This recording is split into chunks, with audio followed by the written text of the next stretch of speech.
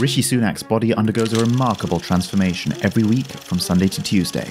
This biohacking Prime Minister goes on a journey of metabolic shifts as he goes on a no food challenge, backed by science. What's really going on inside his body and brain during his 36 hour fasts? If you've never gone without food for a whole day, your body has probably never seen these benefits before. And could these health benefits make you a better Prime Minister? What risks is he taking? Let's find out. Soon to be former UK Prime Minister Rishi Sunak doesn't eat from 5pm on a Sunday until 5am on a Tuesday, fasting for about 36 hours each week. What's the longest you've gone without food? Rishi's fast is longer than the usual forms of intermittent fasting you've probably heard of, like 5-2 or 16 hour fasts. This fasting challenge triggers a series of restorative metabolic changes, each stage offering unique benefits and insights into human health and endurance. Let's explore stage by stage what happens in the body during a 36 hour fast and how it might help in the demanding role of running a country. His journey begins. In the first few hours, Rishi's body is still digesting his last meal, and his insulin levels will be elevated, signaling to absorb and store nutrients and energy. Glucose from his meal is used as the primary energy source, with excess glucose being stored as glycogen, and fatty acids in his adipose tissue in the form of triglycerides. his insulin levels start to decrease, shifting his body to a catabolic mode, preparing to break down glycogen and other energy stores. His body is still reliant on glucose, topping itself up by breaking down glycogen in the liver and muscles. Rishi is very busy attempting to run a country, and he claims he loves using his Peloton bike. So let's say he burns through his glycogen in 12 hours before the onset of the next critical metabolic shift. But until then, things are pretty normal. He probably feels hunger pangs around his usual meal times, but he chooses to ignore them, and this one small thing ties into the biggest fasting benefit of all. Stick to the end to learn more on that. But first, as he goes deeper into the fasting state, this is where the true magic begins. The dwindling of glycogen stores triggers the onset of a new change in Rishi Sunak, as his body begins to seek alternative energy sources. The body starts to increase the breakdown of fat into fatty acids, which are then converted into ketone bodies in the liver. This process, termed ketogenesis, marks the body's entry into a state of ketosis, a natural metabolic response to prolonged fasting. Ketogenesis kicks into high gear by the time Rishi is 24 hours into his fast. Ketones become the primary energy source, especially for the brain, which can't use fatty acids directly. Have you ever heard that the brain requires glucose for fuel? This is actually somewhat of a myth, and growing evidence suggests that the optimal fuel might be ketones, particularly for preventing cognitive decline. Fascinatingly, this metabolic switch doesn't just fuel the body, it regenerates it. Ketones aren't just a fuel used during periods of fasting, they're potent signaling molecules with major impacts on health and aging. What benefits might Rishi start to see at this stage of the fast? And what happens when he goes even deeper into the fast after this stage?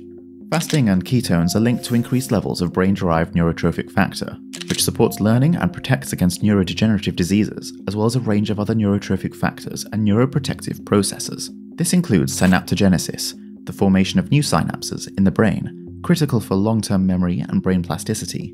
Altogether, fasting could enhance Sunak's cognitive abilities, crucial for decision making and strategizing how to lose an election. The switch to ketogenesis enhances the body's defenses against oxidative and metabolic stress. It's not just about surviving without food, it's about initiating processes that repair or remove damaged molecules, improve glucose regulation, increase stress resistance, and suppress inflammation. During prolonged fasting, insulin levels continue to drop, and the body becomes more sensitive to it. Think of how the more you drink alcohol, the harder it is to get drunk. With insulin, the more your levels are high or spiked, the more resistant you are to it but just like you might become a lightweight after dry January, fasting has been linked to improved insulin sensitivity. This helps reverse conditions like obesity and type 2 diabetes. This is probably a key benefit for Rishi, given that people from a South Asian background can be up to six times more likely to have type 2 diabetes and three times more likely to develop cardiovascular disease. Fasting's weight loss isn't solely due to reduced calorie intake. It's easier to lose fat when you're keeping your body in a hormonal fat burning mode instead of relying on sugars, a bit like how you'll only go into your freezer once your fridge is empty. Metabolic switching and hormonal changes play a key role. This switch to fat burning mode and ketone production can be seen as a reset for the body's energy processing system, offering benefits for disease prevention beyond simple weight management. But what about fasting beyond 24 hours? By continuing to fast, Rishi goes even deeper into the fasting state, beyond the initial metabolic shifts and benefits. How does the body adapt, and how can we use this for better health? This phase is crucial for understanding the profound effects of prolonged fasting and ketosis, benefits that you won't see if you're only doing shorter, intermittent fasts and still eating every day. Benefits you might never experience if you've never gone a day without food. Let's find out more. The shift away from glucose as a primary energy source not only serves to conserve muscle mass, but also triggers a range of cellular benefits. One of the most significant changes, autophagy, is the body's way of spring cleaning cleaning out damaged cells, recycling parts, and regenerating newer, healthier cells. This process is crucial for cellular health and longevity, and its activation during fasting has been a topic of extensive research. Fasting induced autophagy has been shown to boost normal cell function, leading to regeneration and improvements in the health of various organs and tissues, including the brain and nervous system, muscles, liver, kidney, heart, and pancreas. Prolonged fasting stimulates the regeneration of various cell types. There are promising results to suggest that prolonged fasting promotes the regeneration of stem cells and boosting immune cells, which could reverse immunosuppression due to chemotherapy or aging. In this way, Rishi's longer fasts could actually maintain his immune system and contribute to improved disease resistance as he ages. The deep fasting state can have a positive impact on inflammation levels. Chronic inflammation is linked to a host of health issues, including heart disease, diabetes, and cancer. By reducing inflammation, fasting can lower the risk of these chronic diseases. By inducing autophagy and fat loss, inflammation is further reduced, as worn out cells, obesity, and excess fat are tightly linked to numerous health problems and even aging. Rishi's gained a lot in his fasting challenge so far, and many cardiovascular benefits. But what about when he eats again? Are these benefits maintained? Upon reintroducing food, the body exits the fasting state, and its metabolic processes adjust back to normal. However, this transition can be as significant as the fasting period itself. What are the health benefits and risks we see at this stage? And what's the biggest benefit of all if you're a biohacking Prime Minister?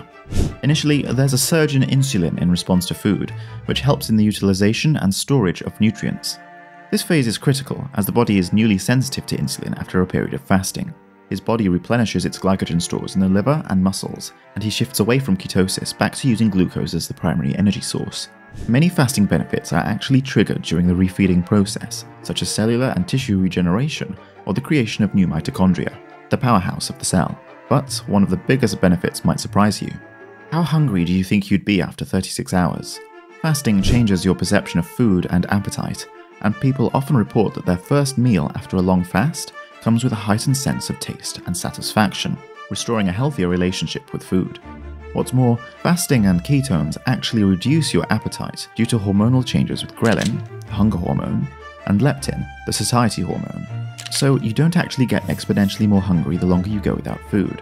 Hunger comes in waves, driven by hormones. You may initially feel more hungry, but evidence shows that ignoring hunger pangs makes them weaker over time the longer you fast. By the time Rishi Sunak eats again, he probably has a reduced appetite, and it's common to feel fuller after much less food than usual. Are these benefits sustained though? Fasting offers many short term health benefits to kickstart better health, but how sustainable these are over the longer term isn't totally clear yet. But so far, it seems like a sustained, consistent approach to fasting would be required to reap the rewards over the longer term. This means finding a way to live with a fasting style that works for you, so you can continue to see all of these metabolic benefits, rather than just doing a fast once and thinking you've done the job. But what about the risks? Do you think you get hangry? Maybe you're just in withdrawal. Some people experience low mood, tiredness, irritability, or even headaches when they skip meals. Maybe this is why Rishi is so irritable. However, these symptoms have been found to often subside over time as you stick with fasting. You've probably spent your whole life surrounded by abundant food, and breaking that habit, like changing any habit, is harder for some people than others. If you're prone to binge purge disordered eating, this fasting style might be a risky approach for you, as fasting could trigger binge eating episodes. Rishi Sunak himself says that his fasts allow him to gorge on sugar and Mexican Coke, the drink, not the drug, probably, so maybe he shouldn't be your role model. Fasting is often a way to kickstart a healthier relationship with food, so find something that works for you. What about losing muscle? Losing lean mass is a worry for many people when they think about fasting, and studies show that this can happen. However, many people often dial back the exercise they do when they fast, and it's this combination of fasting and a sedentary lifestyle that triggers loss of lean mass. Just think about all the lean mass that is lost after a stint of bed rest and lower quality food in the hospital. Exercise signals to your body to hold on to muscle. If you continue to exercise while fasting, weightlifting in particular, even if it's light exercise, then studies demonstrate that you can maintain your muscle mass while still living off your fat. In fact, fasting has been shown to increase the secretion of human growth hormone, maintaining muscle growth and repair. This can be beneficial for physical endurance and recovery, important for a high stress job and busy lifestyle leading a country. The risks are manageable for most people and definitely worth it for all the metabolic benefits, but I haven't mentioned one of the biggest benefits yet, and it's not money. If Rishi wasn't a banker married to a billionaire, I'd be talking about how much money he probably saves on food each week. Rishi Sunak's weekly 36 hour fasting journey can show us that the practice of fasting, especially prolonged fasting, is a complex process with significant metabolic and cellular effects on the body, such as ketogenesis and autophagy. Something I've not mentioned yet, though, is the willpower, mental clarity, focus, and productivity that people often observe when they take up longer fasts. And this may be a big reason why Rishi continues to fast for 36 hours each week, while working a demanding job as Prime Minister. One thing you'll notice when you take up fasting is not only how much focus you can have, but how much time you free up by not having to think about food, from shopping to cooking to eating and washing up. Plus, fasting and ketosis has been shown to reset the body's circadian rhythm, contributing to improved sleep and overall well being. You're probably wondering about how you might use fasting to optimize your health, lose weight, or slow the aging process. If so, then learn more by watching this video next.